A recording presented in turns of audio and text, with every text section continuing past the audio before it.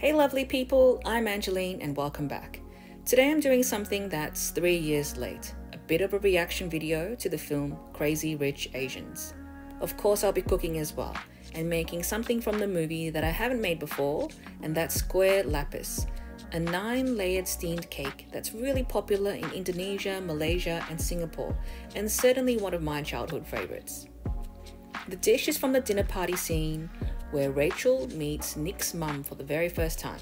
Let's take a look.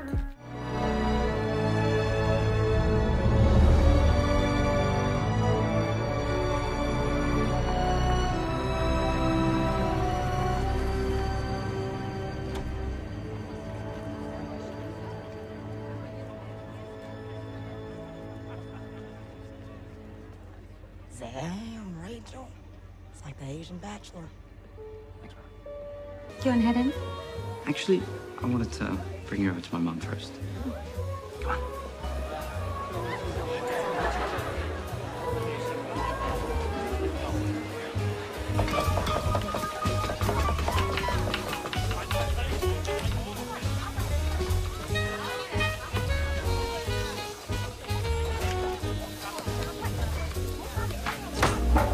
I recently listened to an interview with Jon Chu, who directs the film, and he talks about that moment you just watched when Nick Young comes out of his mansion dressed in an all white suit. Chu was watching the film with his brother, and when that scene played, he noticed that his brother started to cry, so he asked him, What's going on?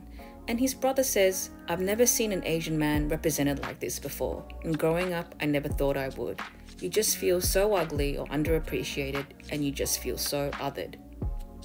As I listened to this interview, I realized that this is an example of why this film has been so impactful for Asian male representation. Of course, it doesn't represent all Asians, not that it should, but something that it does so well is function as a love letter to Asians that grew up in the West, Asians like me. And the thing about this experience has been feeling like I'm not ever fully Australian and I know that I'm not what you think of when you think Australian. On the surface, Crazy Rich Asians is a fun love story about an Asian American woman that dates Singapore's richest bachelor. But the more important statement it's making is that Asians can be the stars of their own stories, that yes, they can play the leading man or the leading woman. In this film, we finally see Asians represented as nuanced characters that are much more interesting and uplifting than crappy old stereotypes of the math geek, the nail salon operator, the grocery store owner with bad English. My list of cringy Asian stereotypes is so much longer than this, but you get the picture. The problem with these stereotypes is that they're never empowering or aspirational. So that's why the simple act of visiting my local cinema to watch an English speaking, all Asian cast featured in a Hollywood produced film was so surreal. It was something I'd never experienced before, and I loved it. What immediately stood out was how Asian males were being presented. Hallelujah! There were plenty of good looking, desirable men in this film. Desirable Asian males?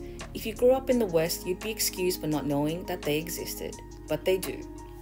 When the film finished, I needed to unpack it. What just happened here? My husband and I rushed to the nearest cafe to talk about it. We were buzzed, so buzzed. This was a moment in cinema, and as two Asians that grew up in Australia, it felt like our moment in cinema. Now, you might find this a really bizarre reaction, but the way I'd explain it is imagine you spend your whole life never seeing anyone that looks like you on the TV or in the movies, nobody cool and then one day you go see a film where everyone not only looks like you, but they sound like you too. It's mind blowing. And I would say that Asian males cop it way worse than Asian females on the topic of media visibility and desirability. Asian men have been invisible for far too long.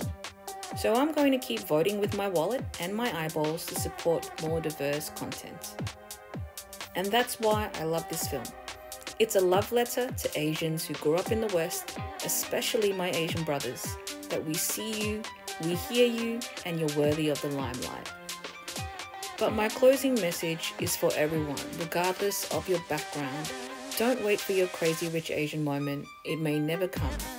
If you don't see yourself in the media that surrounds you, if you don't hear stories that represent you, I hope you can find a way to change that, whether it's making content or supporting content that you want to see. And that's the same challenge I've set for myself to keep going with this creative little side project to make these cooking, eating, and talking videos. Because hopefully my stories connect with somebody out there. And if not, there's always the food. See you next time.